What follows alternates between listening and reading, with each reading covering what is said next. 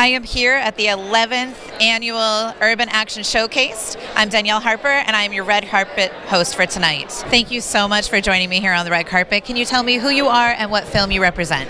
Yes, uh, I'm Aubrey Coletti, And I'm Elizabeth Berkman. and our film is The Real Target. It's an action short.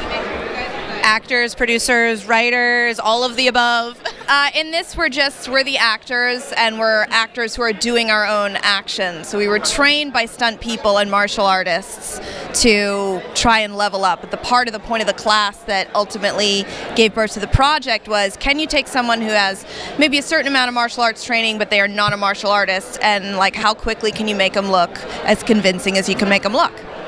And then we did we did though for us write the story. Yeah, so the, the idea came up uh, from us, and then from there we just fleshed it out, and we're able to come up with the scene together. Yeah. We had a lot of fun. Sounds like you did. We, well, we had a lot of fun, and then you watch it, and it's it, it, it might look like we're having less fun. We're, we're not as we're not as friendly as Just a slight as we are disagreement. here. Just a little. I mean, martial arts isn't necessarily about having fun on the outside, but it is when you're on the inside fighting someone. Yes, Absolutely. Is this your first project here at Urban Action? it is. It is. We're really excited to be here. Yeah. Congratulations and welcome. Hopefully, it will not be the last one. Oh, fingers crossed. Yeah, definitely. Thank you. Thank you so much.